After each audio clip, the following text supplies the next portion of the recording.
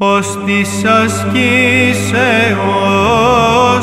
ροδόνι δίπνευστον ως μην αθλήσεως το κόσμο έπνευσας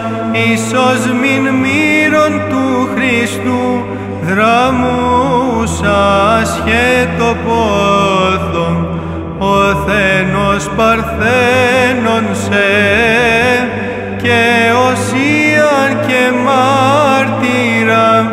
θαυμαστός εδόξασε φευρονία